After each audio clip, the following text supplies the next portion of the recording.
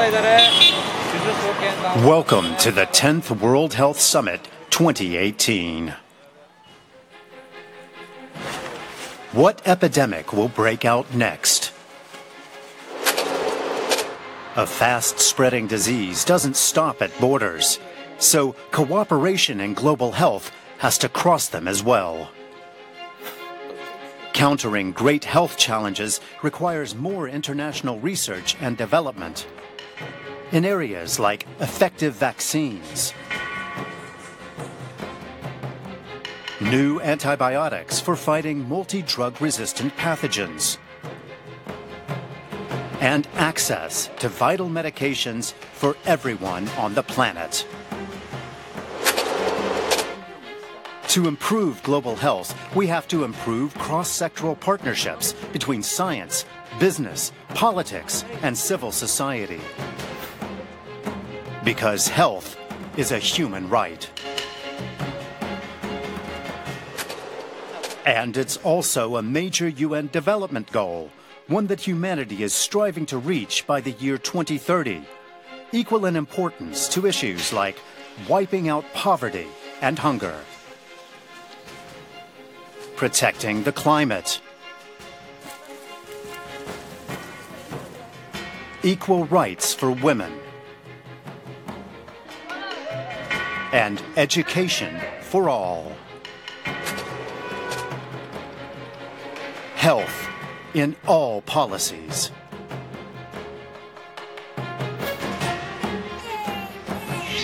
But what standards need to be guaranteed? In the industrialized world, health apps and big data are beginning to promise healthcare tailored to each individual. While in developing countries, people still often have no access to the most basic services. Who will pay to change that? To achieve global goals in development and health, we need strong partnerships. Global healthcare in the 21st century. The 2018 World Health Summit.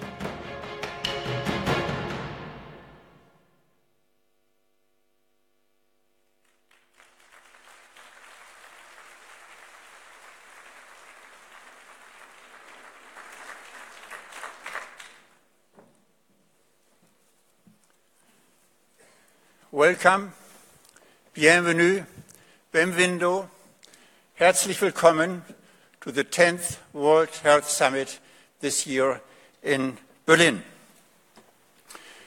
I welcome you all also in the name of the uh, co-presidents of the M8 Alliance and the World Trade Summit, my friends and colleagues from Portugal, Fernando Regateiro and João uh, Silva, president of the famous Coimbra University and the University Hospital. And uh, as you probably know, we always organize a uh, expert meeting and a international regional conference of the World Trade Summit. And this year we had the excellent uh, regional meeting of the World Trade Summit at Coimbra University. Thank you again, dear friends, for doing that for us.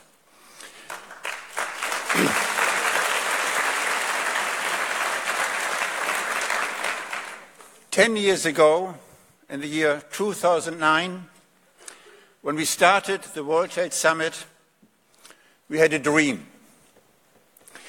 We had the dream that multilateral, peaceful collaboration, the power of facts, knowledge, and education, intersectoral, integrated, joint programs could help to bring health and well being to everybody and everyone on this earth as a human right.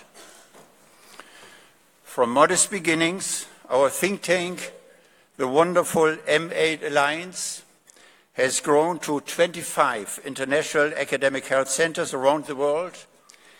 And the M8 Alliance now includes, in addition, all 130 academies of medicine and sciences in the Inter Academy Partnership. Dear Minister of Health, Jens Spahn, Dear State Secretary Maria Flachsbarth, Excellencies, dear speakers of tonight, honored guests, colleagues, and friends, I welcome you all, the 2,500 participants here in Berlin at the World Health Summit, and many, many more watching us via live stream all over the world. Ladies and gentlemen, when it comes to health, the world is in a worrisome state. There has been progress, yes, but the main causes of premature death, physical and psychological suffering are shifting from infections to widespread non communicable diseases. Factors like climate change, political instability, war and conflict, flight and migration, economic crisis are contributing to major health problems. At the same time, the world population continues to grow and to age. We strongly advocate a holistic and a science driven approach to solving the global health challenges. When you look around, you will see participants from academia, politics, civil society, and the private sector, the industry. Together, we are strong. 10 years World Health Summit, we say thank you for your support along the way. 10 years on, the World Health Summit has grown into one of the most foremost international strategic forums for global health, promoting health worldwide, organizing regional meetings and expert meetings around the globe. This year's World Health Summit, with more than 2,500 participants from 100 nations, more than 50 different sessions, are addressing just one question. How can we improve global health? Together, we can make a difference. Together, we can contribute to a better and healthier world. And together, we can make a dream become reality. I thank uh, Minister, Federal Minister of Health, Jens Spahn, to have agreed to uh, be the first speaker and, in a way, the host of the federal government here to open the session for us. Mr. Spahn, well known to the uh, German audience, is one of the prominent and, if I may say so, influential members of the new, relatively new government in Germany. He is trained as a banker. He has also uh, studied political sciences. He has been previously the parliamentary secretary for the Ministry of Finance, and now for some time he is the Minister of Health, and uh, he is a strong supporter of Germany playing a major role in global health. Please welcome with me Minister Jens Spahn.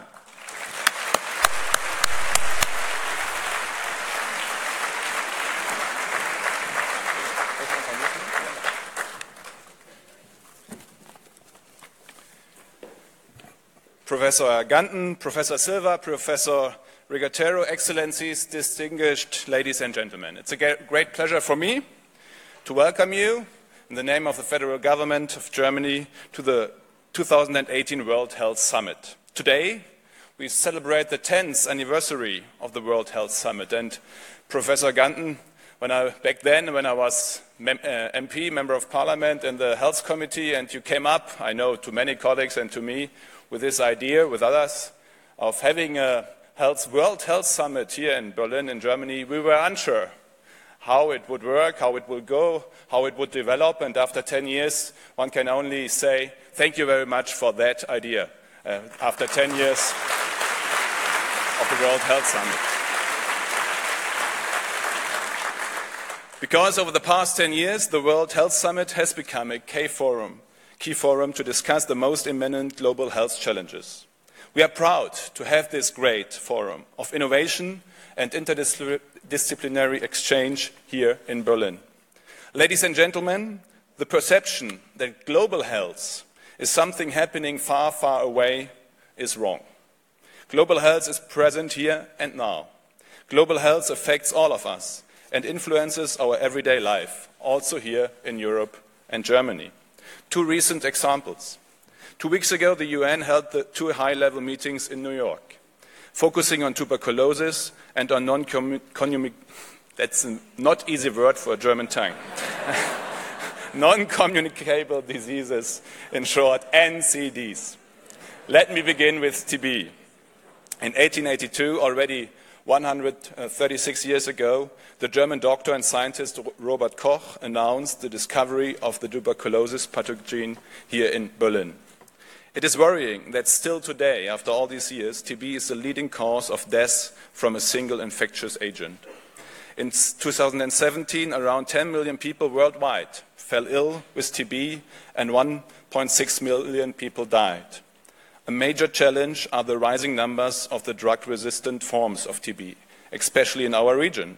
Nine of the thir world's 30 countries with the highest burden of multi drug resistant TB are within the European region.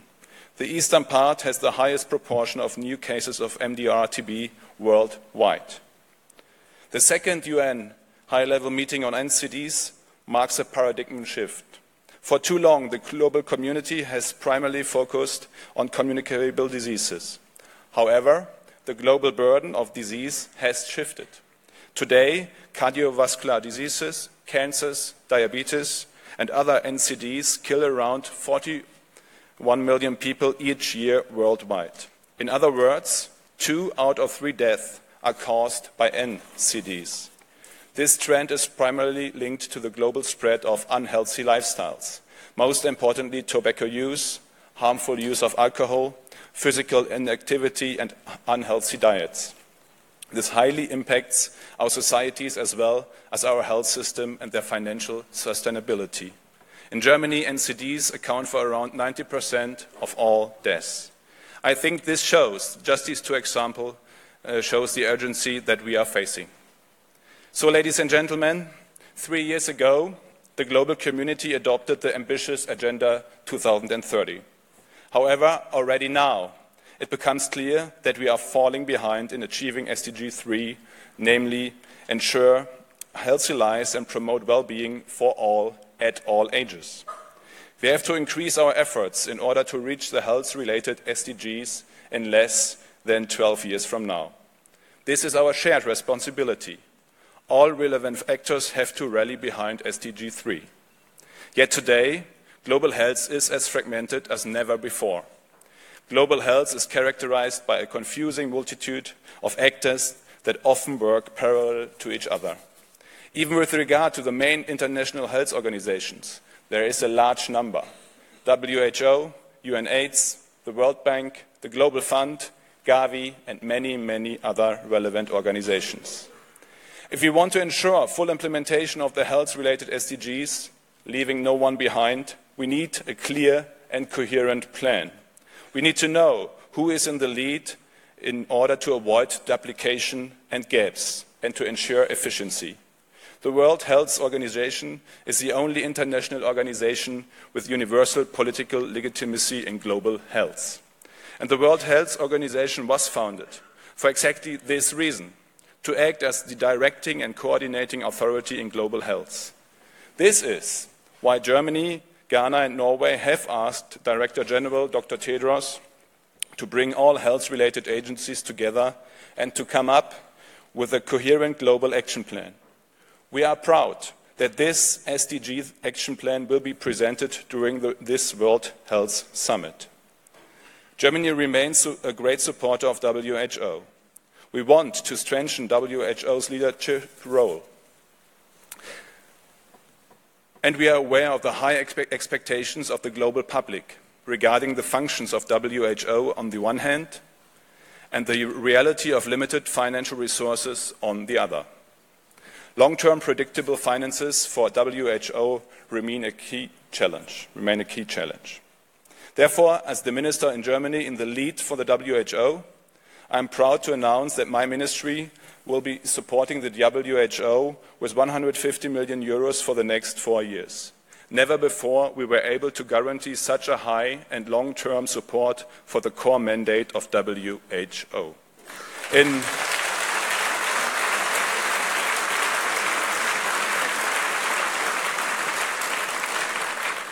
because in providing predictable financing for WHO, we want to lead by example and we want to make a real difference. The funding will support the coordination and the implementation of the SDG 3 action plan and the core mandate of WHO, activities where WHO has a clear comparative advantage. And let me just take the chance, I know Dr. Tedros is still to come, uh, but yet, if you take the Ebola outbreak we are just facing again, if you see how difficult this was four or five years ago to deal with it and how long it took to we finally had vaccination on the ground, for example, real help on the ground, and how fast it went this time with all the problems that are in the region there. You see how much has improved, and I just want to say thank you to everyone who is engaged here. Many, many people worldwide uh, went down to that region. WHO is leading it. Thank you to everyone who is helping.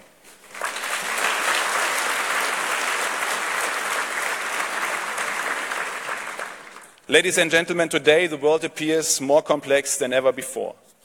Over the past years, we have seen major geopolitical changes that also impact global health. At the same time, the expectations towards Germany's engagement in global health have increased. Germany is seen as a proactive supporter of constructive multilateralism. We believe there is a clear need for Germany to redefine and clarify what spe specific added value we can provide for global health. This is why the German government has decided to work on a new whole government strategy for global health.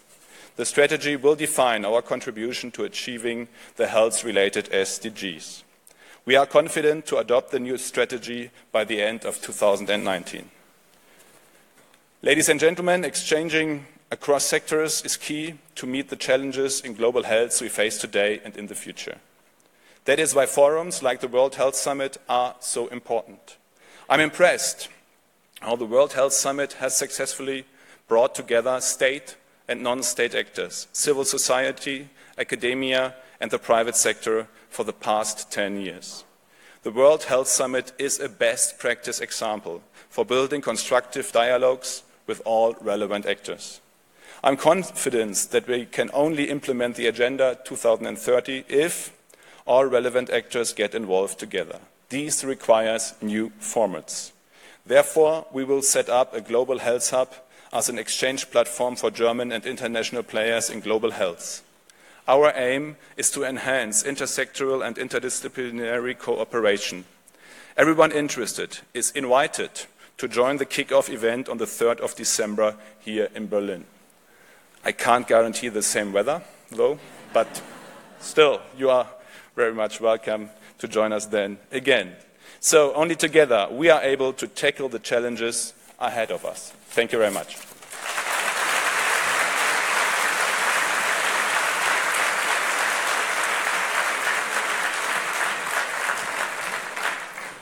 Thank you, Minister Spahn. Indeed, I remember some time ago when we met you, you were a member of parliament responsible for health in your party, and we talked about Health Summit and, and support of our activities.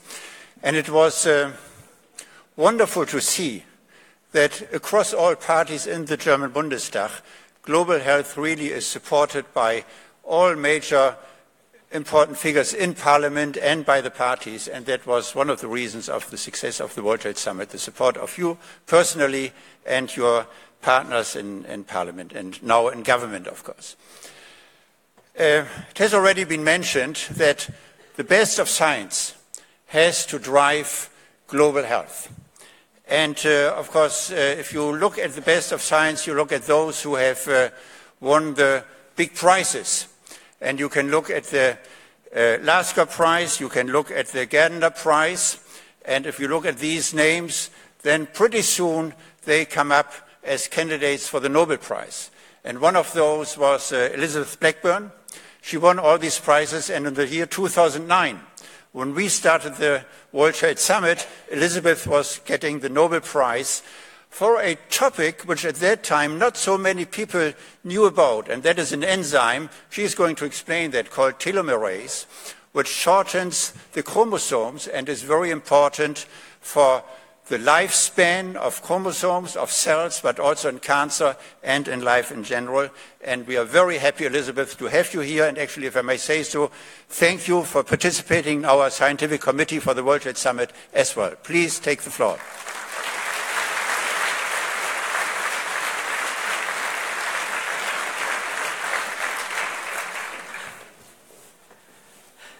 Thank you so much. Thank you for having me here and for inviting me to participate in this wonderful and very important summit. And I'm just delighted to be here again in Berlin. Uh, now, Professor Ganten just gave my scientific lecture, so I'll just skip right over the science. And I have some larger issues I'd like to talk about that really came from my experience in science and thinking about where science leads us. And so uh, I'd like to um, tell you briefly what my. Oh, how do I do this? so, my topic is going to be how do we improve science? for worldwide benefit. And can somebody come? because I'm going to have a take home message which I can convey to you right now without a slide, and that is to address the most critical issues facing humanity in order for health sciences to benefit. Which one? All of humanity. We must adopt new ways to draw on whole of humanity and share the science, including, of course, health related sciences, that must underpin advances in improving health and well being. And my point and plea today is going to be that to better serve our shared future of health, we're going to need to develop even more fast sighted and global ways of doing health science research and the sciences that lie behind health sciences research. And I think it's urgent to start this now because I think it's no surprise that humanity, as we've heard, faces a number of tough challenges, of which I've just put a very small number up here. And we can all think of the challenges that arise out of this partial list, you know, out of the climate crisis, out of inequality, for example, food availability, arising from the challenge of war, the, the welfare of refugees. Clearly, such complex challenges must be tackled in order to be effective at every level because they're all going to have impacts on health and well-being. And every level, as we've already heard, it's so important to bring together collaboratively all sorts of levels individuals, communities, policy, global. But the aspect I'm going to focus on in this brief overview is science, because science must play a pivotal role if we are to meet such challenges in the long term effectively and such as aging demographics. Now, if we're to reach our goal, uh, our hope that we can uh, improve uh, people's health, uh, health span, improve well-being globally, for science to play its pivotal role in improving these, we need science to achieve its best potential. So now's the time to ask an awkward question. Um, how do we do sciences? Do we do science ideally right now? So I want to ask that and, and just focus on three aspects, two of which will be more familiar, and the third perhaps a little more um, ambitious, uh, and I'd like to just put it out to you. So, the old ways of doing science uh, really centered a lot around competition and uh, results, uh, including, of course, health related uh, science findings, often weren't shared uh, because of competition, delays while publishing occurred. People, exclusion is, is common. among scientists, exclusion was and is still is too common. Resources are typically thought of as, uh, you know, nationalistic terms. Uh, for example, uh, you know, explicitly or implicitly competitive with other countries, for example, um, and often rather short term. Now, for health sciences, clearly this doesn't make very much sense.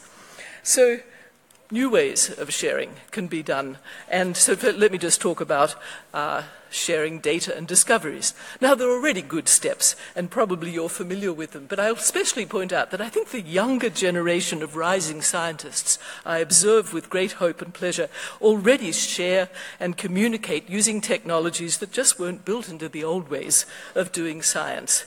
And so, for example, um, much more attention is being paid at, uh, at, the level of bodies such as the National Institutes of Health, and I'm pleased to say that uh, the National Institute Of Health in the US is really thinking about how better to manage the sharing and data uh, sharing, uh, this, the uh, huge advantages that can come when data and when findings are freely shared. Now, uh, what about delays when publishing? Well, rapid online publishing is, is already uh, uh, being over, overcoming some of the problems here. And again, uh, I just give one example. There are others, uh, bioRxives, where uh, this is just a model for the biological sciences, but it allows rapid online publishing and sharing of findings. So, the next aspect is, is exclusion, and uh, by inclusion, um, what I want to talk about is not only making science more inclusive, which means making scientists within their communities more inclusive. But also, we mustn't forget science must interact with other experts. Scientists must interact with other experts and communities. Science has to draw on the whole of humanity. Now, making science itself more inclusive. It's important because those demonstrated contributions of diversity and inclusiveness in most effectively addressing complex issues, and boy, are health sciences complex issues, uh, and addressing them in the most imaginative and innovative ways, are not limited by pre existing groupthink. So I'll just highlight one example of what's been really the, seen as the loss to science that results from exclusion, and that relates to gender.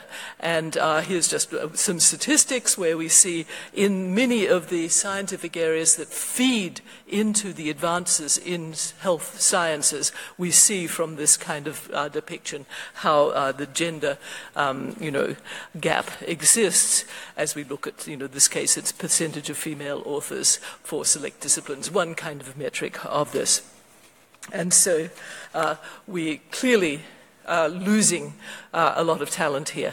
And part of this has been an issue which has been taken on by the US National Academies. This report came out, this sweeping report came out, and uh, this was on sexual harassment of women. But I think the principles of what came out of this report are far wider, and they re- certainly apply much broad, more broadly uh, than to the uh, STEM, which is what this was addressing, including science. And so uh, I think uh, we, we should just look for a moment uh, what did they find? Sexual harassment in science, but not confined to science, is common. Uh, women of color and LGBTQ people were more likely to be harassed. And, and academia, you know, things that you mightn't think were very important really have effects. Uh, and so these really are negative in terms of science's best potential being reached. Uh, there are a number of practical things. I hope you memorize them all very quickly, but you can read them in the report. But a number of things, very specifically, that can be done. So people are really trying to tackle this. I won't read them all out. But the main point is that the cumulative effect it's a significant and costly loss of talent. And we can broaden that to uh, thinking of other forms of exclusion, not only gender related, but much, much more broadly regional, uh, based on ethnic, based on you know, preconceived ideas of economic, and all, all sorts of different kinds of forms of exclusion. So, uh, my point being that's one thing that we need to really do better. And there's already, as you see, steps on the way. Now, the last thing is resources. And as I mentioned, resources often are, um, you know, sort of conceived of, often nationalistically. How do, how do, we make health sciences thrive, not just as individual and sometimes, as I've said, exclusionary groups, or just national communities with narrow interests and viewpoints, but, but broadly? That is, how can we support global, sustained, cooperative science? Now, the need seems pretty obvious. We really need uh, long term global science to be feeding in to health science challenges all the time. I mean, I think that case uh, can't be made more clearly, but I'll just bring a couple of examples. What about the things that we can't anticipate? Did we anticipate the HIV epi- epidemic? No. Did we anticipate now the rising tide of the burden of uh, diseases, neuro- neurodegenerative diseases, of aging, dementias? We didn't really anticipate all of this. We don't know what other things we uh, have to anticipate. And we need science to be there producing new findings because we don't know what we will have to anticipate. I don't think people anticipated the widespread, um, uh, you know, resistance to antibiotics, for example, in a more short-term way either. So, but there's another good reason why science. science this is Anton Chekhov, the great Russian playwright and physician, said it so well. He said there's no national science, just as there is no national multiplication table. What is national is no longer science. Uh, because, you know, research asking why gets to universal truth and is fueled by our common human interest and our common humanity, our, our common curiosity.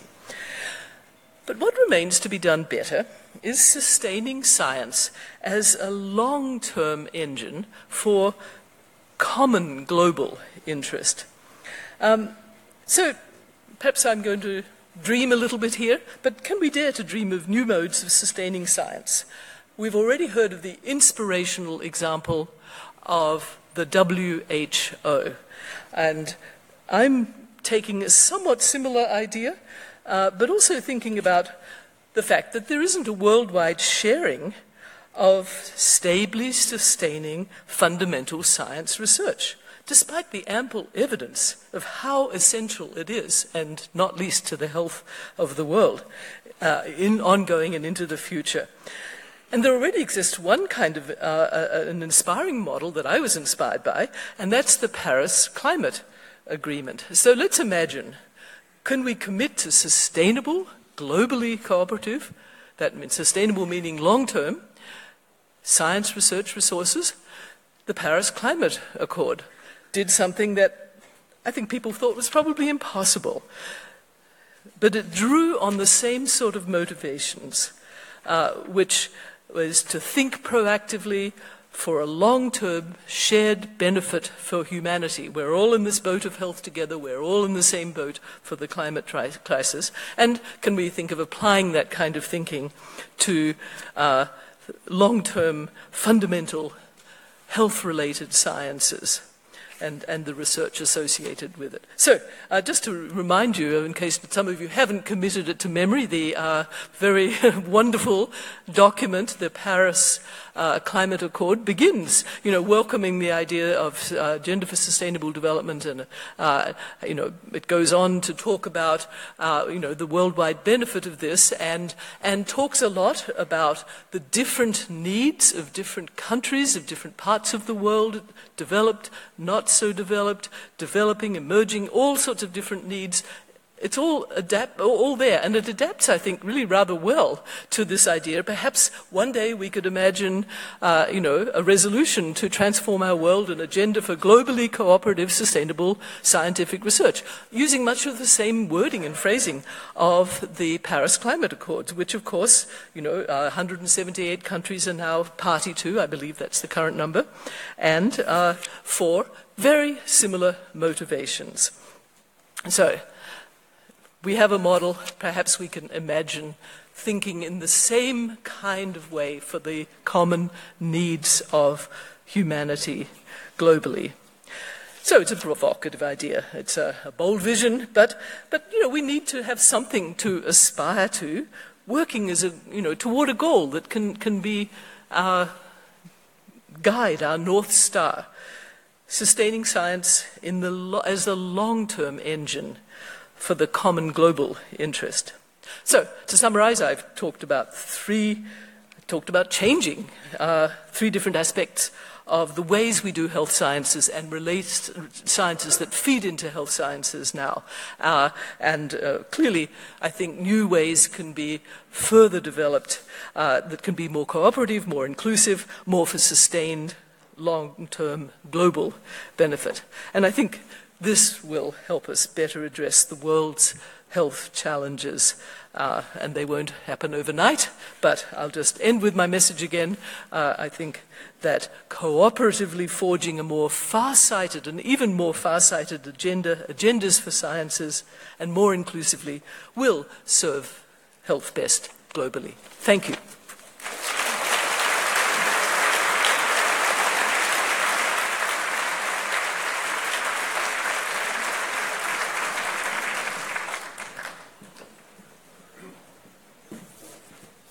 Thank you, for Elizabeth, for this uh, talk and emphasizing, emphasizing the global responsibility of, of science and the many aspects involved.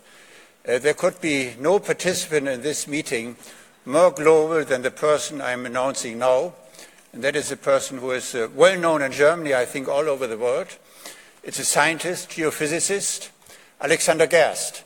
He is uh, speaking to us from outer space with a real global view. Alexander Gerst is, uh, has been a flight engineer in 2014 in the International Space Station.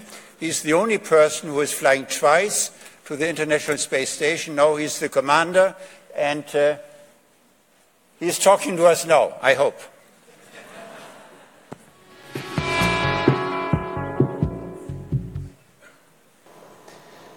Hello and good evening from space. Greetings from the International Space Station to all of you joining the 10th World Health Summit in Berlin. My home for the last months has been high above the surface of the Earth, humanity's outpost in space. Now, the ISS might be a long way away from you right now in Berlin, but the ideas, the common goals, are pretty much the same. A lot of the research that we are performing up here has the aim to make humans healthier by using this unique laboratory in space to understand fundamental mechanisms in our bodies better, like, for example, the immune system and cancer cells. And just like the World Health Summit, the ISS is a truly international project.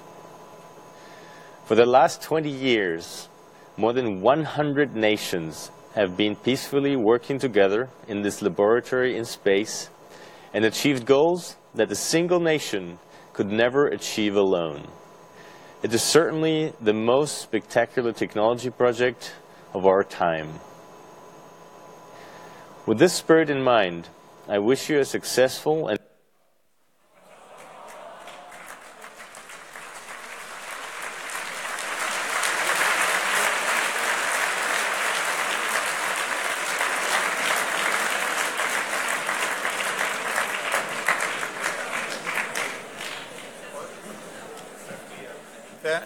always surprises this was actually the reason why we didn't have a, a real-time video because it wasn't sure that con.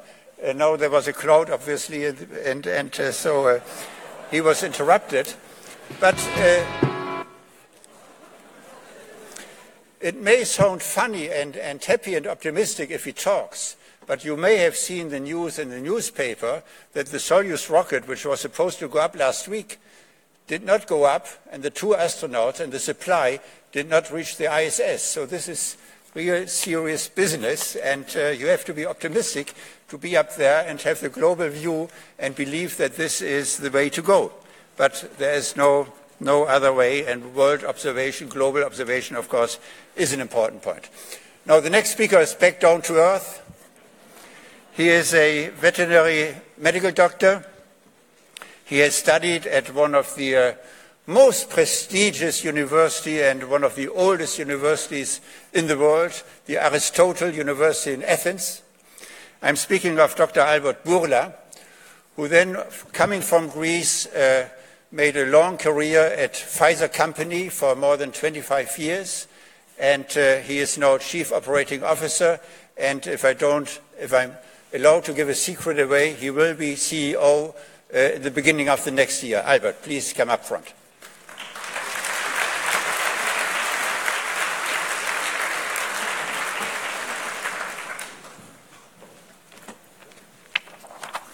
Thank you very much, Mr. Chairman, and uh, thank you for the introduction. You need to know the Aristotle University is in Thessaloniki, not in Athens. It's a very big deal in Greece.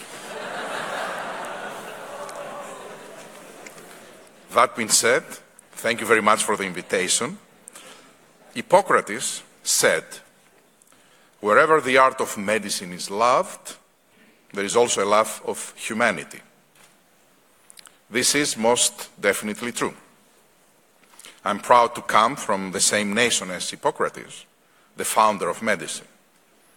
Centuries ago, around 430 BC, he sought to understand the patient needs and serve them to the best of his ability. Centuries later, in my role as the leader of the world's largest biopharmaceutical company, I understand this too. Our work brings us in contact with many wonderful people. Let me share with you a story. It is Matt's story. In 2011, Matt was diagnosed with stage 4 ALK positive lung cancer. He was just 24 years old. He had just completed his first year of medical school in the US. The good news was that Pfizer had a clinical trial available with an experimental at the time drug, an ALK inhibitor, so for Matt to participate in. He received the, the Pfizer treatment and his cancer went into remission. He married his girlfriend at the time and began starting studying cancer. For a while, he was fine. Then one day, the cancer came back. This time, a metastasis in the brain. Thankfully, in the meantime, we had started the development of a next generation ALK inhibitor. So Matt was lucky to enroll in his second Pfizer clinical trial, and he received the experimental drug. This was successful. Matt's wife, the girlfriend when we first met her, wrote to us, Thank you, Pfizer, for saving my husband's life twice. And of course, I've had the pleasure of meeting him and his wife on several occasions. He has finished his dissertation this summer, representing the final stages of his PhD. And he told me that his studies will allow him to help patients like himself. I think Hippocrates would be very proud with Matt. The positive impact that I described that we have been able to have on Matt's life is being repeated around the world and across disease states. Cancer cervical rates, excuse me, cancer survival rates resulting from new treatments created an estimated 23 million additional life years and roughly $1.9 trillion in social value within just a decade. These statistics are great. But the truth is that cancer today, cancer today remains a major killer of humanity. Unfortunately, for many of those who get cancer, the question still is not if, but when. There is a lot of work to still be done. And unfortunately, it is not goodwill that will find the cure of cancer. We need collaboration and we need significant investments. We need to bring scientists and academics from all over the world together with investors that are willing to invest in projects that will fail 99 times before one can become a promising medicine. We at Pfizer are committed to continue doing exactly that. But here is another challenge. How do we ensure people in the most remote, poorest regions of the world have also access to such innovative medicines? How do we create stories like Matt's in Vietnam, in Kenya, in India? Healthcare by nature is a local, personal and human experience. Large companies like us, governments, global health organizations, have the tendency sometimes to forget this. For this reason, at Pfizer, we try to constantly remind ourselves of our purpose. Patients are waiting is the most common sign we try to put in our walls, in our buildings. Putting patients first permeates everything we do, and it aligns our business mission with our human mission. If we stop doing this, our relevance to society becomes irrelevant, cease to exist. But if it's going to have a meaningful impact on global health, we need to think differently. We need to think differently about how we partner with others, and we need to move with a real sense of urgency. If entities collaborated, imagine the possibilities. Let me share a few examples of innovative partnerships that we are proud to be part of and are generating amazing results right now, right now and in all corners of the world. We are partnering with more than 100 governments, partnering with international nonprofits, private sectors, and local health workers around the world to eliminate trachoma, the world's leading cause of infectious blindness. In order to manufacture enough antibiotics to meet patient demand, we needed to understand the global disease burden. Using smartphone technology, a massive door-to-door global mapping project was conducted by our trachoma partners. In a little over three years, they collected data from 2.6 million people. On average, one person was examined every 40 seconds. The results provided the world with dis- district level data on where trachoma is found across 29 countries where it is still endemic. This enabled us to double our medicine donations and extend our commitments to this cause to 2025. The results have been staggering. We have shipped more than 740 million doses of antibiotic to at-risk communities. Over the last 20 years, the number of individuals at risk of trachoma has decreased 60% in the world. And already six countries have completely eliminated the disease thanks to an expansive global partnership and advances in smartphone, in smartphone technology. A world without trachoma is now within reach. We also are collaborating with the Clinton Health Access Initiative, together with the American Cancer Society, to help expand access to 11 of our cancer treatments in countries in sub-Saharan Africa that they are most impacted by cancer. They are part of the treatment regimens for some of the most common cancers in the region, including breast, cervical, and colorectal cancer. In the world's poorest countries, Pfizer partners with Gavi, the Vaccine Alliance, to provide Prevnar 13 at the lowest global price. Today, Pfizer has, donate, has provided more than 400 million doses, helping to protect 29 million babies in Gavi countries each year. We have committed to supply 930 million doses of the vaccines to the world's poorest countries by 2027.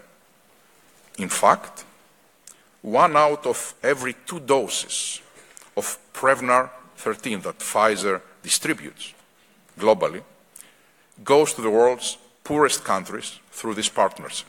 It's massive. In 2017, our multi-dose vial of Prevnar 13, a new way of packing the product, became available to children in Gavi countries as well as in refugee settings. This four-in-one vial was developed specifically by Pfizer for this part of the world. Part of the world where we have issues with storage, transportation efficiencies, and that helps to enable vaccinations of even more children with fewer vials. A final example, in 2014, the Pfizer Foundation, it's a foundation, philanthropic foundation that we operate, launched its health delivery and social innovation portfolio.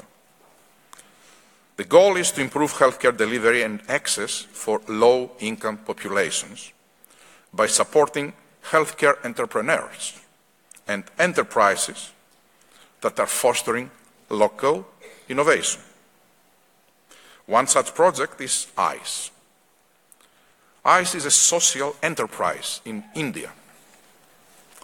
They have developed a low-cost, clean birthing kit that includes products the WHO recommends for a safe and hygienic birth. Our foundation's grant supports outreach and education targeting pregnant women and healthcare providers, educating both about the importance of infection control and maternal health.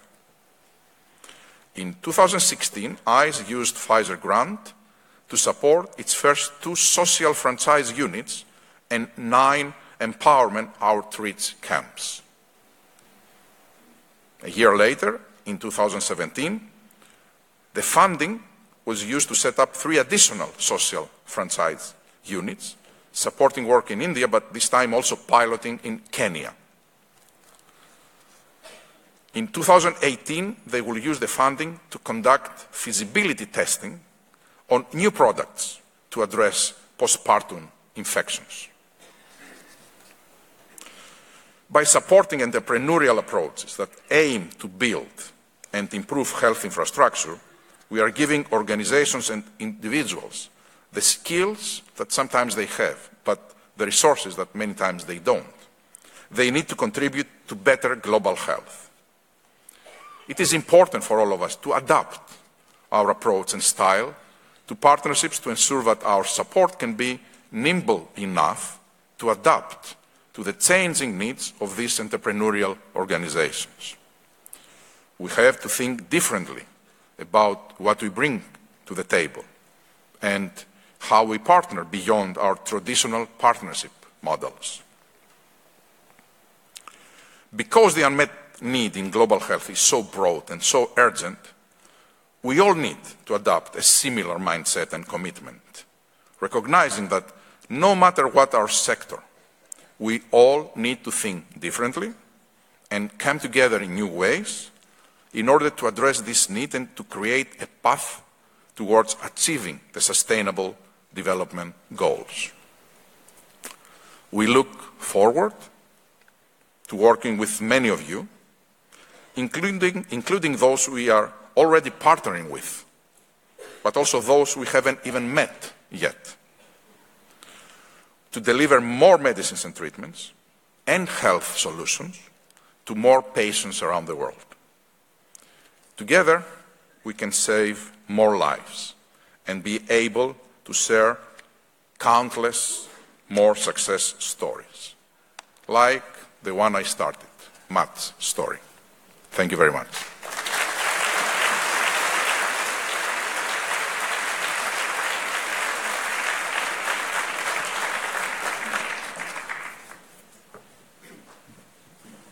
Thank you, Dr. Bourla. It is so good to know that the biggest company, pharmaceutical company, is basing their research on the teachings of Hippocrates and Aristotle.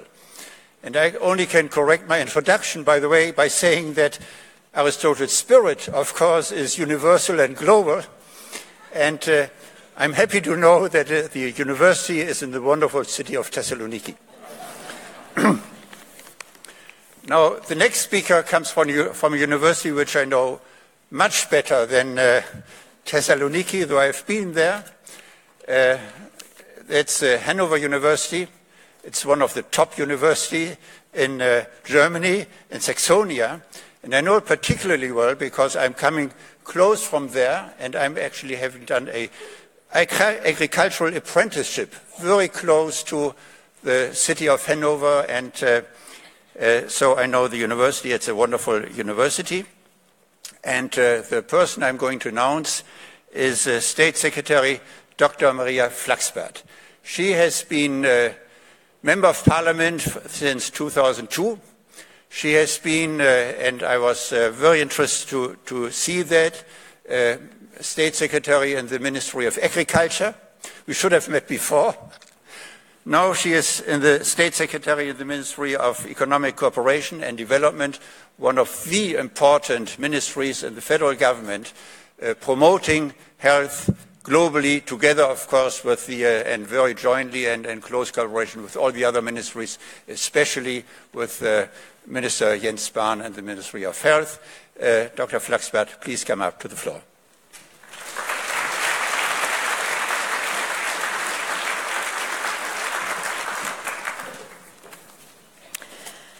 Professor Ganten, Silva, Regateiro, Professor Blackburn, Minister Spahn, distinguished guests, ladies and gentlemen. Health is not everything, but without health, everything is nothing, said Arthur Schopenhauer, the German philosopher. In August 1831, he fled from Berlin because the cholera had broken out, and he survived. His fellow professor, and academy, Georg Wilhelm Friedrich Hegel stayed and paid with his life. Fortunately, this would be unthinkable today and cholera outbreak in Berlin. And worldwide too, people have become healthier. Polio has almost been eradicated. More people than ever have access to health services. But we still have a long way to go. Half of the world's people have no access to health services. Every day, more than 2,000 children die from diarrheal diseases. This is 10 to 20 children during my short speech. This is a scandal both in terms of the suffering of individuals and in terms of the political stability and social and economic development of entire countries. There needs to be a sustainable economic growth if we want to reduce poverty and provide a better future for people. So it is good that the World Health Summit was created 10 years ago. My congratulations to your anniversary. Professor Ganten, I want to thank you and your colleagues for your tireless and very valuable work for global health. And I'm glad that there are so many active partners from science, from politics, the private sector, and civil society who are here together today. A big thank you to you all, too. We all know that the goal of the 2030 agenda are ambitious. By 2030, there must be universal access to quality health services. And Germany is doing its part. During Germany's G20 presidency last year, we put health on the agenda. We are investing about 1 billion euros in a year in health, mainly out of the budget of my ministry. This means that uh, we are the world's third largest donor. Since the adoption of the 2030 agenda, we have already made some progress. In India, we have helped to introduce a health insurance system for 40 million households. Our 2030 Agenda implementation program is helping our partner countries to focus their policies on sustainable development. Myanmar, Kenya, and Vietnam are reforming their statistical systems so that they can reliable data on health indicators and adjust their policies. Our work always focuses on strengthening health systems. We want to help build lasting institutions to provide basic services to all people, to stop infectious diseases such as HIV, tuberculosis and malaria in the long run, and to make sure that epidemics like the great outbreak of Ebola in West Africa and most recently in Congo have no chance to spread. Good health systems also need an infrastructure, equipment, syringes, cooling systems for drugs. And above all, they need well trained staff. However, worldwide there is a shortage of 17, 17 million doctors, nurses, and midwives, especially in developing countries and in rural areas. We need more training and more in service training for the staff that is there. And for me as a veterinarian, it is very important that we are now going to put new strength on our fight for One Health. That means against zoonosis as well as against microbial resistances. So we are working with partners to strengthen basic health services. Global problems only can be solved in a global partnership between countries and international organizations, between governments and the private sector, academia and civil society. The challenges cannot be met through public funding alone. We support partnerships. We pass on knowledge and help to build networks. Thus, Germany works with many different partners from WHO to Save the Children. International support must be provided in a coordinated, effectively, and measurable way so that it really strengthens health systems. Our hospital partnerships, too, are based on the idea of cooperation. They bring together hospitals in Germany and health facilities in our partner countries. The program has a good start. We are already supporting 113 hospital partnerships in 37 countries, and we want to add more to the list. Our hospital partnerships make, make it possible to have a direct, direct exchange. Sometimes it is more helpful than theoretical trainings. This is true for the entire health sector diagnostics, treatment, technology, logistics, and administration. And we support innovative solutions in our partner countries. For example, we will start hospital partnerships in the area of e health next year. Our focus is on Africa. Our African partners, too, want to invest in healthcare through the continent. We want to support them through our work. After all, health in Africa requires more than action against Ebola. That is why we launched our special Health in Africa program in 2015. Um, For the period up to 2019, we are providing 600 million euros. We focus on three priorities. First, equipment. We help our partners to meet WHO health standards. Second, education. Drugs and vaccination programs are good, but what is vital to prevention and treatment is people's knowledge about health in everyday life. And third, training. Skilled workers are the cornerstone of the health system. We invest in training for health workers on a massive scale. For example, in Africa alone, we have helped to ensure that more than a million births were attended by skilled health staff over the last six years. But the needs are still huge. The process made so far is not enough to reach the goals by 2030. The SDG 3 action plan on health, started by Chancellor Merkel, the Ghanaian, the Ghanaian president, and the Norwegian prime minister, is an important signal, and I'm very glad that it will be on the agenda of your meeting on Tuesday.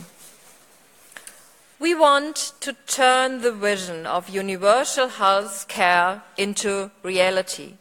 To make it happen, we all have to do our part. Let us join forces and jointly invest in global health now. Let us use today's World Health Summit as a forum for that because health is vital for development. Thank you very much.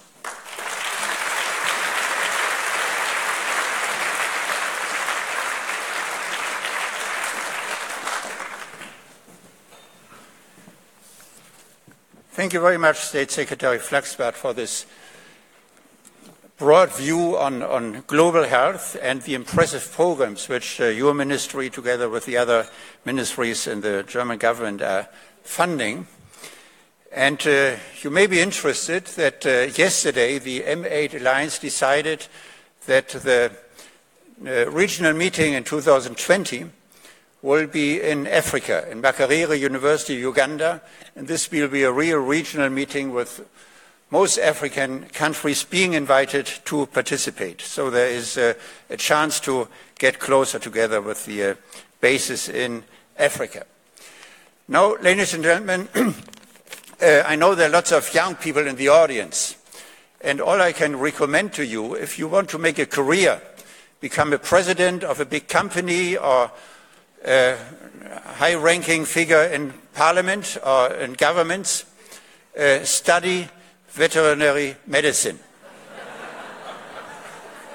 As you have heard, Dr. Bourla is a veterinarian, uh, Dr. Flachsbarth is a veterinarian, and the next speaker is a veterinarian.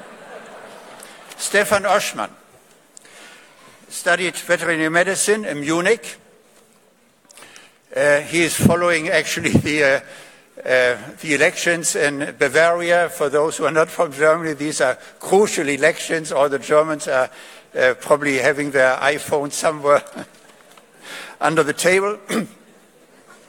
but uh, stability is guaranteed anyhow in this wonderful state. Uh, Dr. Oschmann, after studying medicine, veterinary medicine, he uh, was uh, engaged in many, many functions, which I don't have time to uh, mention here, but he was working with the United Nations, various agencies. He was working with pharmaceutical companies, with MSD, and now he is the CEO of Merck in Germany. And in addition, he is the president of the European Federation of Pharmaceutical Industry Associations, better known as EFPIA. And we are very much looking forward to your talk, Dr. Oschmann.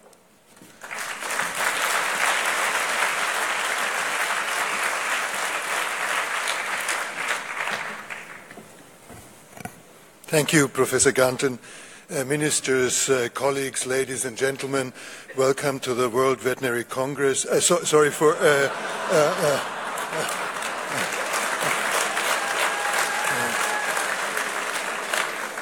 uh, obviously, it's a pleasure. It's, I'm, I'm, delighted to be invited to the World Health Summit. Um, I have personally, and I will come back to that toward the end of my uh, contributions, I have, as Professor Ganten mentioned, I've worked in academia, in biomedical research, I've worked within the UN system, again science-based, mostly, uh, mostly in Africa. I've worked actually in government for a short period of time, and I've spent most of my career initially in research and development and later on in management in the private sector, and that is going to be a leitmotif of my, uh, of my uh, presentation today about how these sectors can, uh, can partner better in the interest of patients. And I think the World Health Summit presents a great opportunity to openly discuss the really most pressing challenges that we face in global health today. A couple of examples are non-communicable diseases, I was practicing, Minister Spahn, uh, uh, uh, um, uh, I was practicing the word uh, after your speech, and I, I, hope it worked. It's antimicrobial resistance or affordability. we, the European pharmaceutical industry, believe that in the coming years, we can achieve great progress, pr great progress in dealing with these, effectively dealing with these challenges. But Progress will not come by itself. We must set the right parameters. Today, I want to share four theses with you about what we should do to further improve healthcare for millions of people. Firstly, we need to step up our efforts to drive innovation. Secondly, we must keep innovation affordable and available. Thirdly, we have to pursue new ways to find antimicrobial resistance. And fourthly, to achieve substantial progress, it is essential to work in partnerships across sectors. When we, when we stop for a minute and take stock of the world around us and the science around us, we see two revolutions in biology and in information technology. Just last year, after a decade of disappointments, we saw important approvals for, for gene therapies. Technologies like precision genome editing with CRISPR now open up new opportunities in this promising field and beyond. And so do big data analysis and artificial intelligence, deep learning, machine learning, etc. Just think of the ability to analyze massive amounts of data, whether scientific publications, clinical images, or entire human genomes. And this helps us to understand diseases much better. This is what we need to identify new drug targets, optimize clinical trials, and integrate real-world evidence into regulatory processes. Therefore, now it's, it's now time to step up our R&D efforts. And technologies, we must use digital technologies and data much more effectively and, uh, and uh, efficiently. To better drive innovation, we must also evolve regulatory, uh, regulatory practice. The European Medicines Agency PRIME scheme to enhance the development of medicines that target an unmet need is a case in point. It has brought existing tools together in a totally new way. In the future, we need more collaboration and partnership between regulators and our industry. Continued and early dialogue can help to increase the predictability of regulatory outcomes. For example, improving early and ongoing consultation on clinical trial design and manufacturing processes can help us to develop experience with novel therapies and guide evidence development for marketing and health technology HTA approval. As EFPIA President, it is my priority to significantly step up our collaboration with regulators around the world to adapt regulatory pathways to support innovation and new technologies. If we look at the output of the biopharmaceutical industry overall, we see that it's on the one hand amazing what kind of progress we've, ma we've made.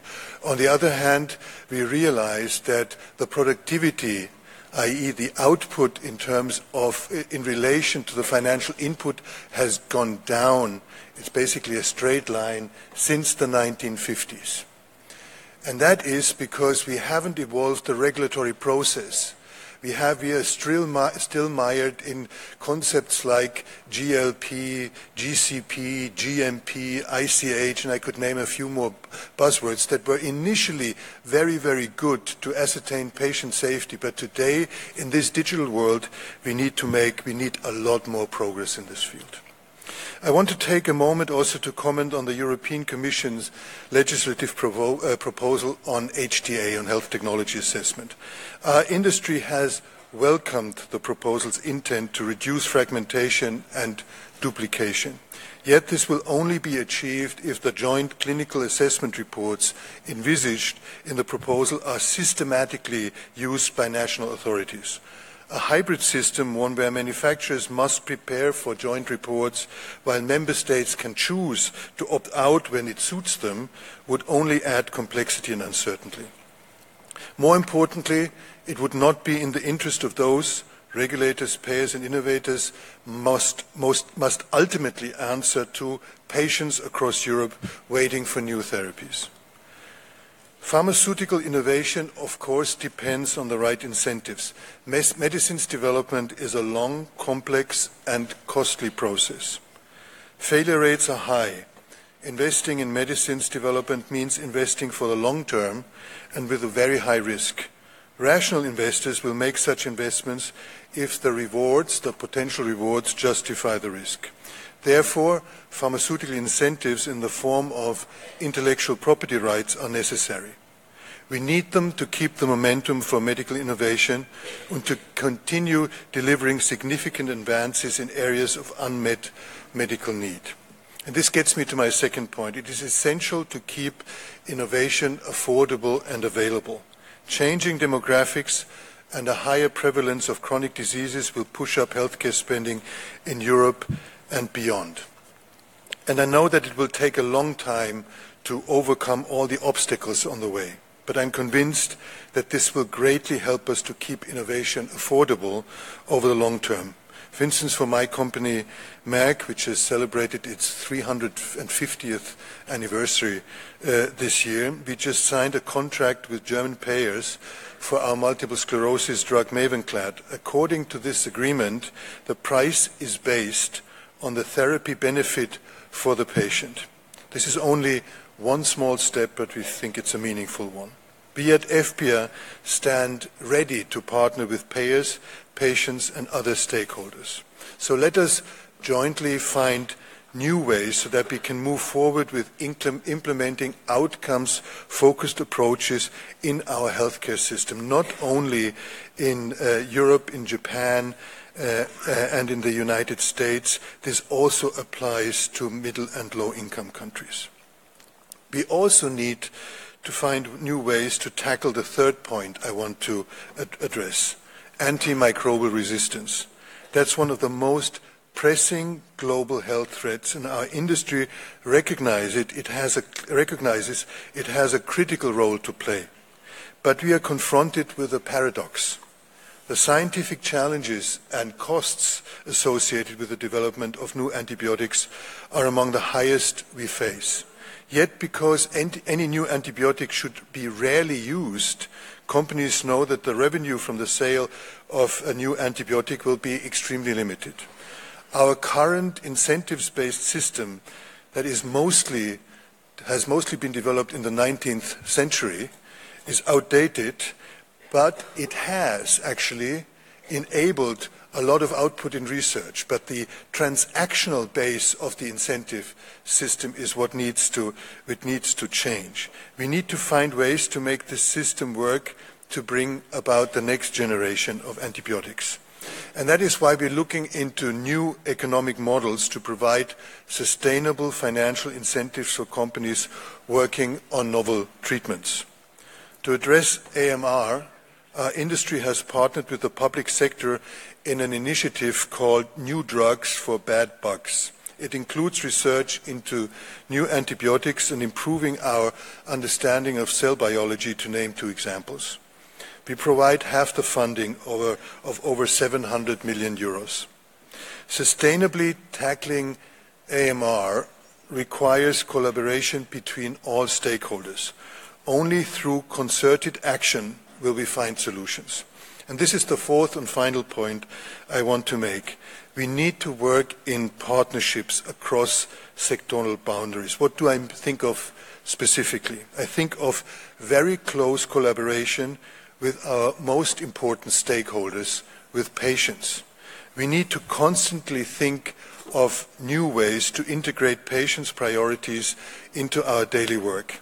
I also think of research collaborations like the Innovative Medicines Initiative, IMI, a highly successful partnership between the European Union and the European pharmaceutical industry. And I think of initiatives such as Access Accelerated that unites partners from all sectors to find new approaches for the treatment of non-communicable diseases in low and middle income countries. This is from my point of view, perhaps the most important, important point. The challenges we are facing in global health are too big for one sector to tackle. We need strong partnerships that reach across boundaries. We might disagree on certain questions. That should not prevent us from joining forces to achieve progress in some of the most pressing challenges in global health.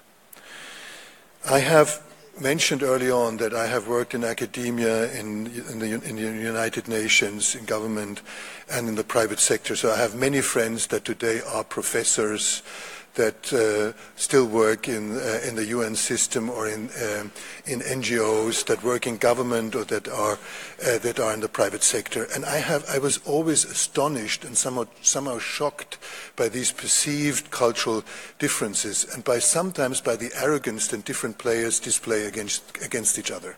I have seen many public sector people who believe that uh, anything in the private sector is by definition at a morally less acceptable level and is purely profit driven.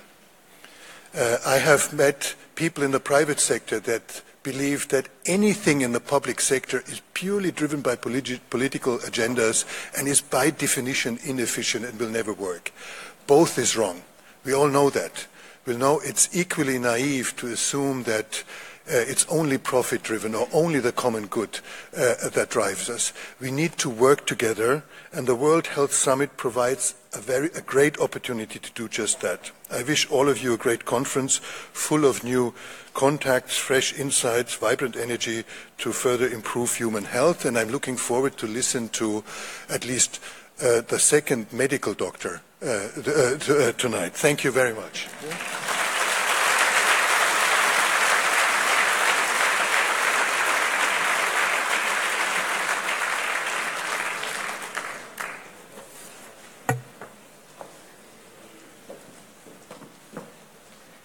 Ladies and gentlemen, many of you know that the World Health Summit is committed to support women's leadership in global health. And I'm delighted to be able to introduce to you not only a medical doctor, uh, but a great woman leader in global health, Dr. Tshidi Moeti, the regional director of the African region of the World Health Organization, the first woman to lead that regional office. Those of you that are familiar with Africa will know that she has turned around this office and uh, that part of that turnaround has been the great reform of WHO's work on outbreaks, particularly the present Ebola outbreaks, but also a very, very strong commitment to universal health coverage and community health. We are clearly delighted that with her expertise of over 35 years in medicine and public health, she comes regularly to the World Health Summit to share her wisdom with us, and she has, despite all her responsibilities, agreed to serve on the International Advisory Board for the German Global Health Strategy. I'm delighted, Dr. Moeti, dear Tshidi, to ask you to come up and to call you a friend. Thank you.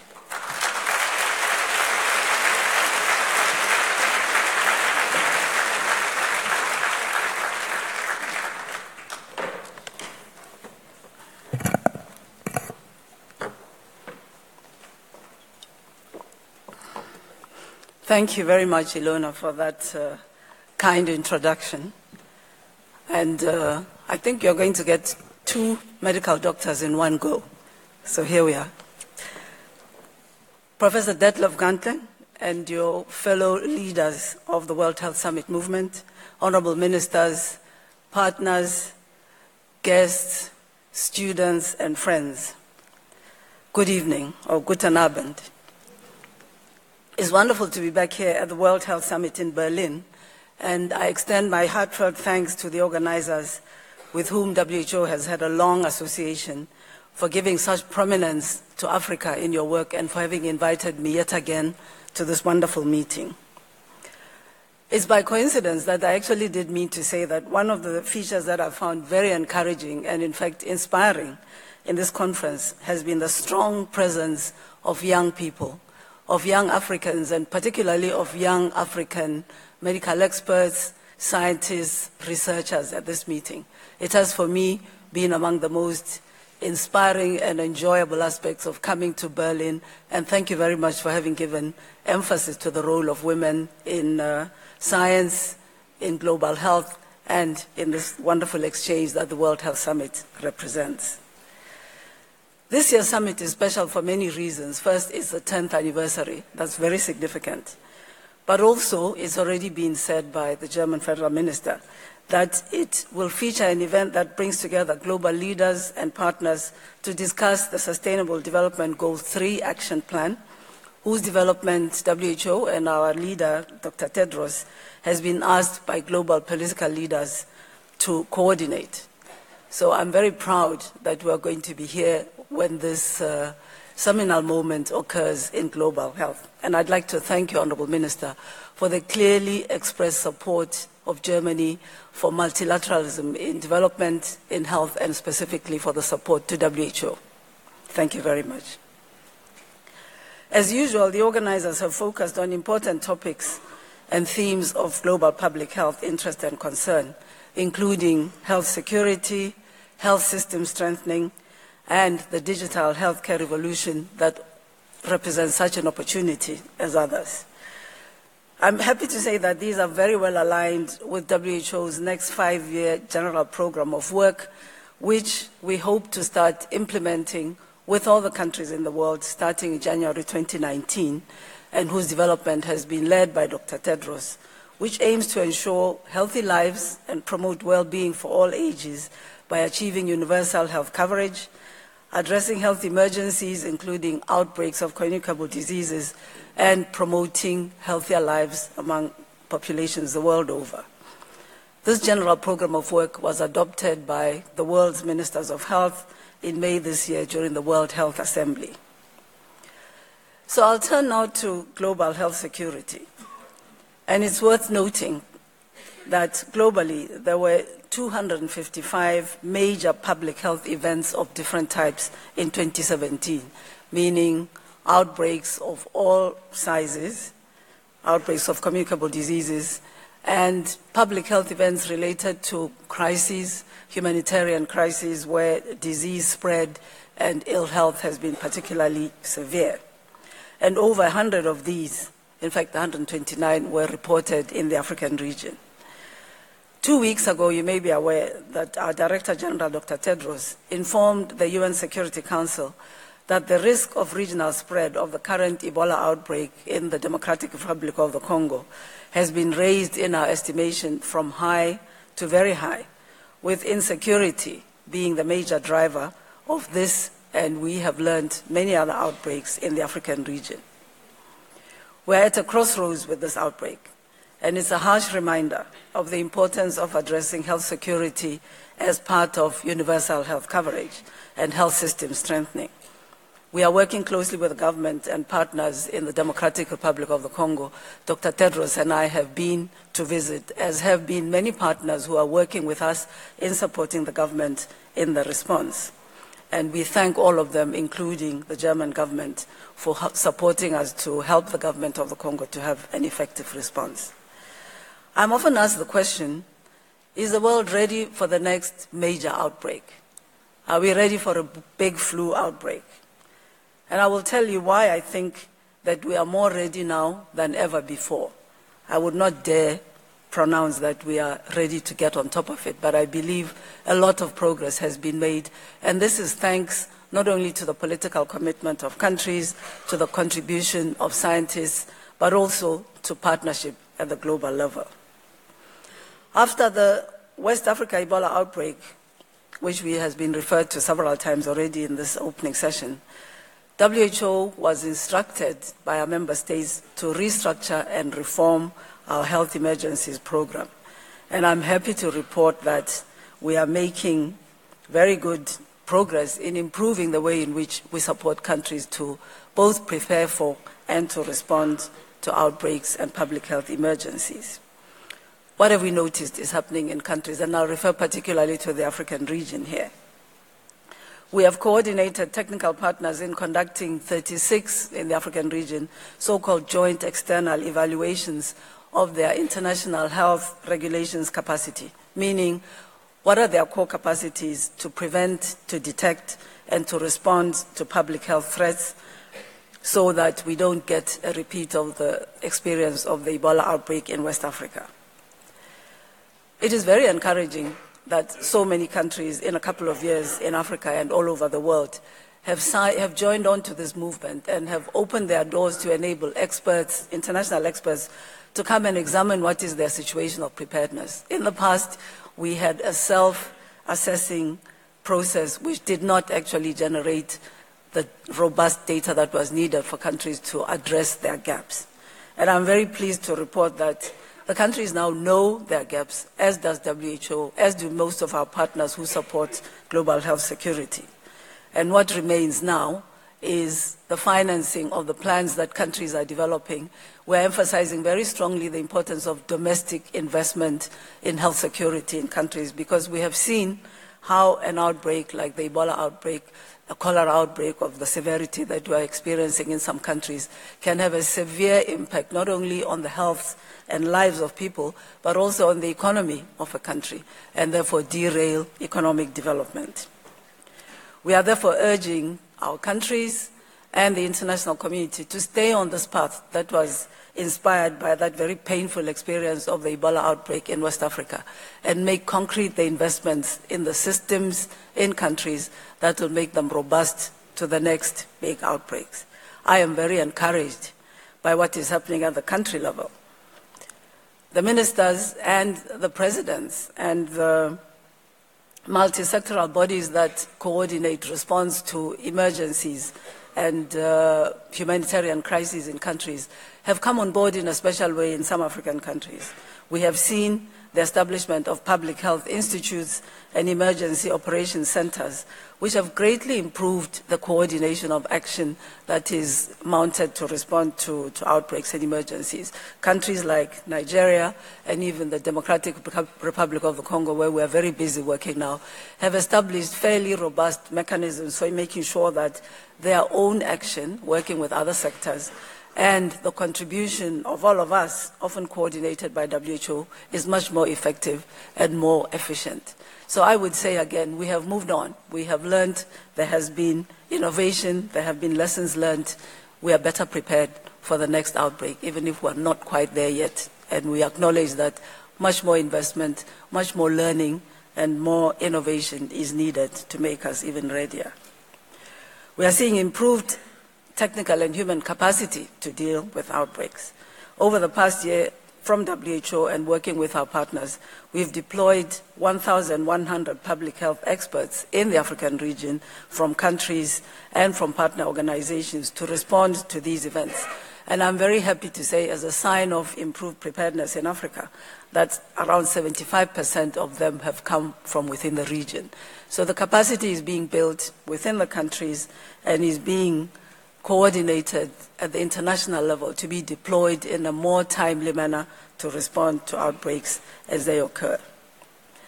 I'm told by my staff that Albert Einstein said, in the middle of difficulty lies opportunity. And we believe that health security and the outbreaks that are often so painful in their impact provides us opportunities for innovation.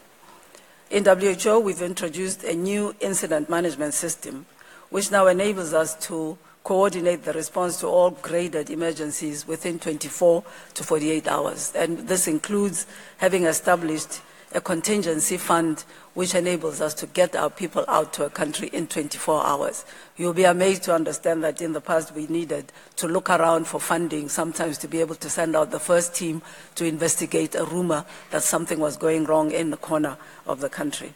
And here again, I'd like to thank very much those member states of WHO who believe in the multilateral system and who are investing in this contingency fund.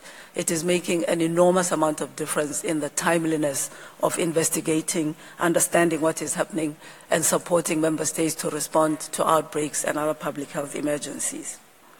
It's already been stated that health security is intertwined inextricably with advancing universal health coverage because we've learned that outbreaks start and spread where health systems are weakest, as was the case with the West Africa Ebola outbreak, where lack of access to basic health services, lack of the presence of health facilities, health workers with the necessary skills, with the diagnostic capacity, enabled Ebola to spread within this locality until it reached urban areas, and I think the rest of it is history. So the message is very simple as clear.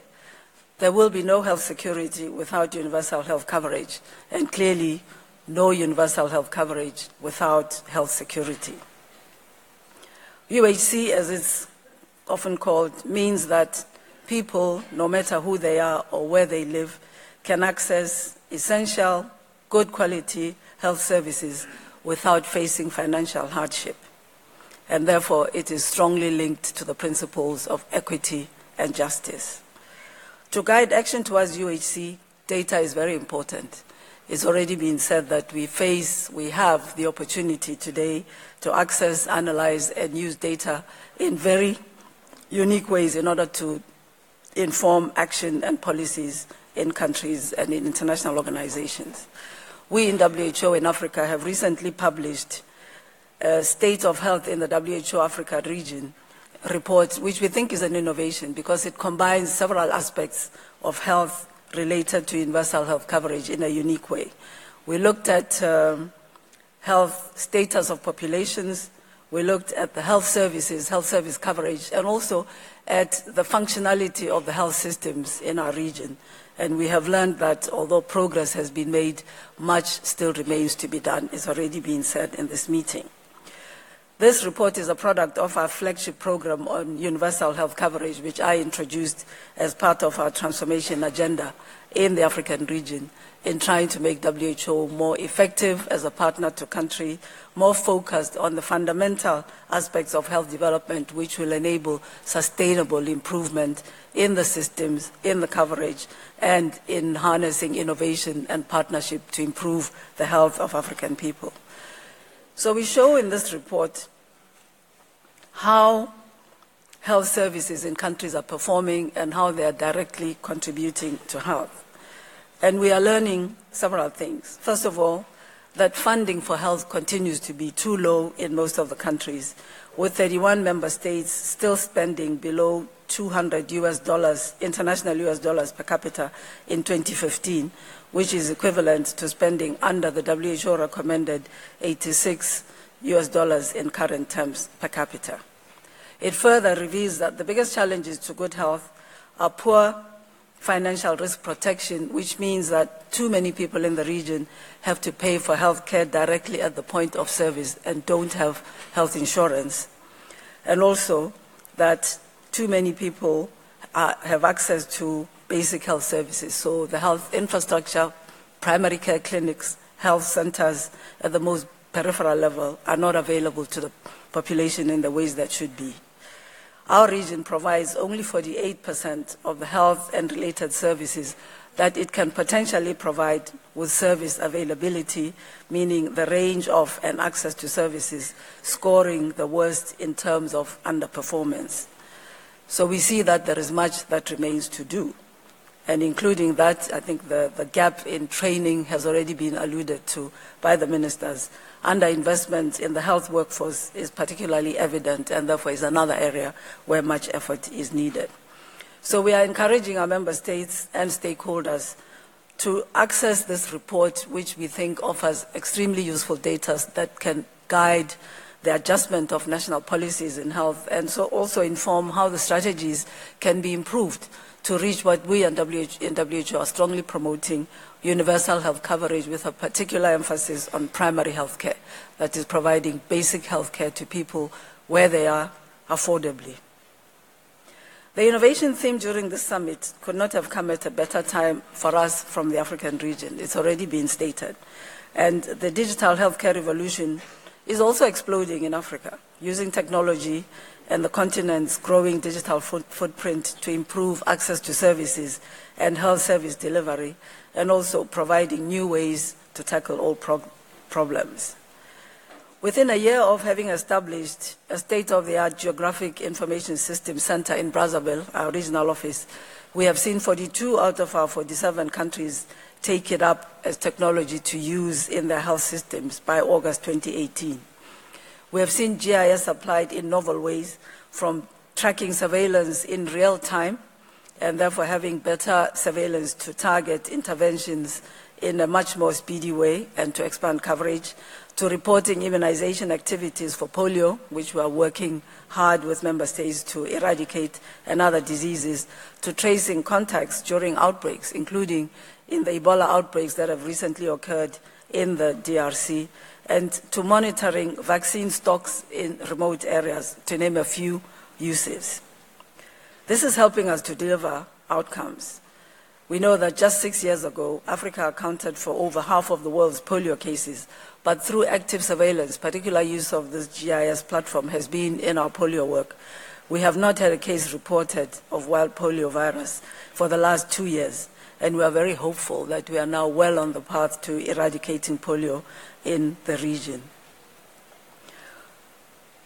So what are we doing in the area of uh, digital technology support? We have recently signed a partnership with the International Telecommunications Union at the regional level and also at the level of WHO globally. And we are working together to improve the use of technology, working with the private sector, supporting the governments to develop their policies so that they are able to leverage the myriad technology platforms that are available to use technology better, even in our African region.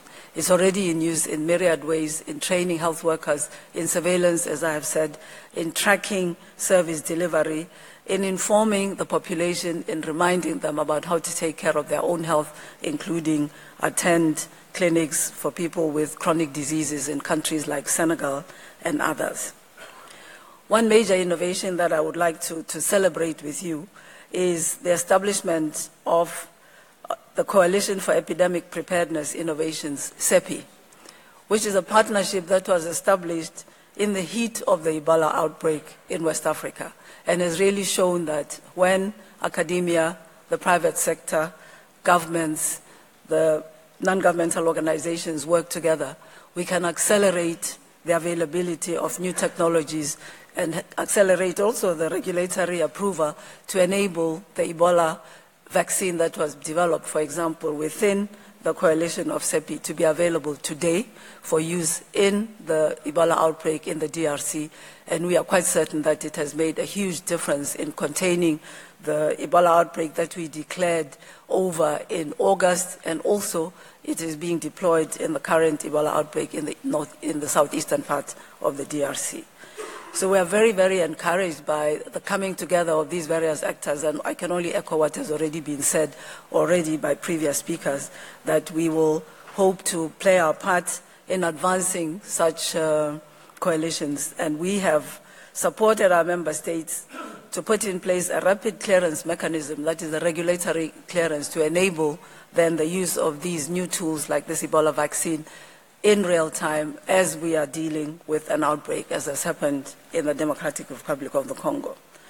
Another innovation has been the use of fractional doses of yellow fever vaccine. You will be aware that there was a very large outbreak of yellow fever in Angola a couple of years ago, and here we were able to innovate and experiment because of the shortage of yellow fever vaccine and use a fractional dosage which was effective in controlling the epidemic, and now this is being adopted as part of common practice in uh, reactive uh, yellow fever vaccination campaigns.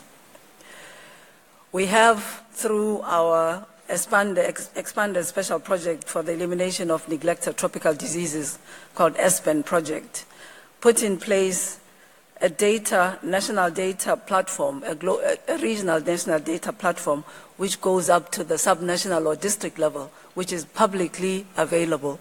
And believe me, my experience has been that working with and negotiating with member states to allow local, district level data to be available internationally is quite a work in progress.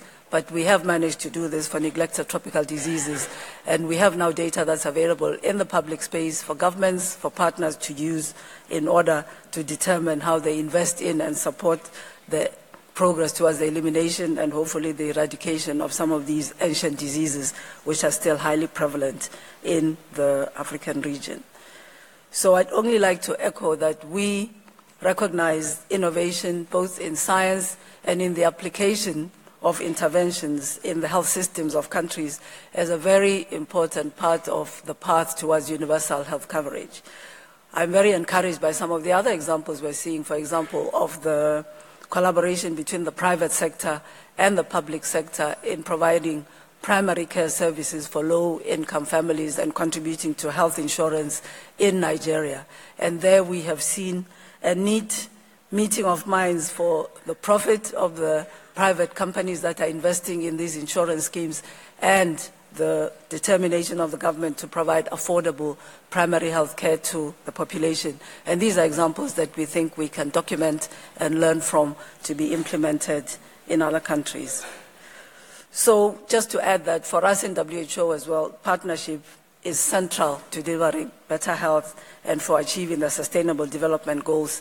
And it is the cornerstone of our transformation agenda in WHO in the African region. And I can say on behalf of Dr. Tedros as our leader that it is a key cornerstone of the changes and innovations that he is bringing into our work in WHO. We are ready to partner, of course, with uh, the private sector. In Africa, we have uh, a regional platform called the Harmonization for Health in Africa Partnership. And I'm having to leave here tomorrow night in order to join my fellow regional directors and partners in Nairobi in a meeting to follow up on our progress. One of the areas that we are working on is to understand and help to guide and advise our governments on how to leverage the interest, the resources, and the capacity of the private sector in driving progress towards universal health coverage in the region. And we have understood that there is much to learn from what is going on around the region in general and understand that our role is to support our countries to understand and to mobilize and leverage what the private sector can bring, as well as working with other partners to work towards universal health coverage. So we think that um, the partnership that is exemplified by the World Health Summit is what is needed. I can only report, repeat what has already been said. It's part of the principles and the practice of what we do in the African region and what WHO is doing globally to work across boundaries, not only of sectors like private and public, but we know very well that countries are working around development sectors to make sure that we work on a common platform to bring what we like to call health in all policies in WHO to bear in improving the health of, uh, of populations. So I'd like to thank you and congratulate the World Health Summit movement again for your 10th birthday. Thank you for having associated WHO so strongly with this uh, movement, with the summit. Thank you for having invited me personally, and I look very much forward to the rich exchange of ideas, of learning, and the partnerships that are formed from this meeting. I can only say this from my personal experience and wish us a very successful summit. Thank you very much.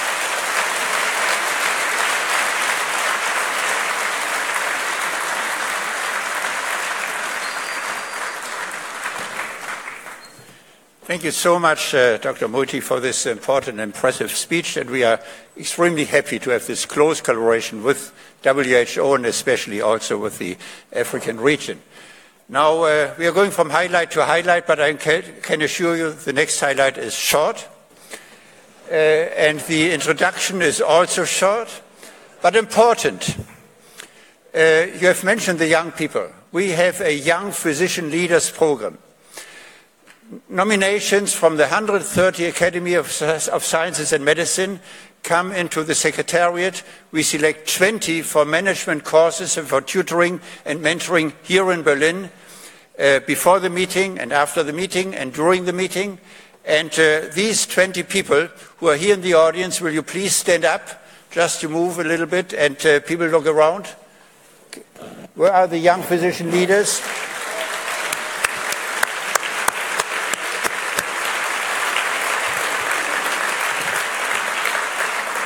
And in the last three days of training, they have selected one person who can express her wishes to the World Health Summit and the establishment of global health in two minutes. And this is, uh, this is Özge Karadag Caman. Why don't you come up already? And uh, she has studied not veterinary medicine, but real medicine in uh, Istanbul and she has worked already with some United Nations organizations, and she is going to tell us what to do in the future to satisfy the young people. Thank you. Distinguished global health leaders, dear honorable guests, and dear colleagues. First of all, I would like to thank the summit organizers for giving us, the young physicians, a chance to express our hopes for this meeting. As a young physician, I sincerely wish in this World Health Summit that we will leave aside individual countries and boundaries and focus solely on our planet. And I wish that we will talk more about sustainable development goals, but discuss action rather than only theory. I hope that we will talk more about vulnerable and disadvantaged groups, how to empower them, how to increase their participation in healthcare delivery, and how to decrease health inequalities by sharing our resources, experiences, research findings, best practices, and know-how. In this summit, I hope that we will be speaking more about social innovation and working together to benefit all humankind. I wish that we will discuss how to raise every single child on this planet as a world citizen who feels responsible for and acts upon the world's most urgent problems, such as the human driven climate change and decreasing biodiversity. I also wish that we focus more on the One Health concept because we know that human health cannot be sustainable without animal health, plant health, and environmental health. Therefore, I believe we need more discussion on concrete and evidence-based interventions to promote One Health and to implement One Health in all policies. Lastly, I would like to emphasize that most global health issues can only be resolved in a world where there is less stigma less discrimination, more democracy, and more human rights. To conclude, I believe that peace is at the heart of all global health issues, and therefore, peace should be a sine qua non for achieving our global health goals. Thank you.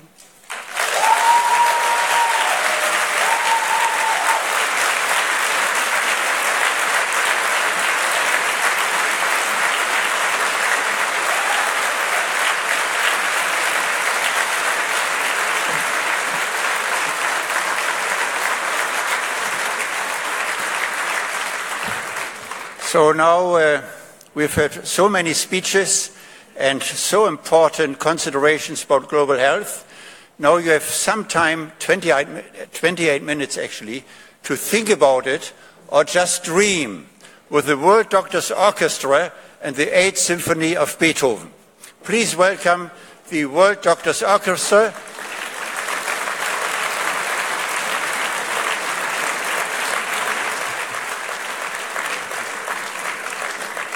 and its world famous conductor, Stefan Willich, Professor Stefan Willich, a cardiologist and sociologist of the Charité.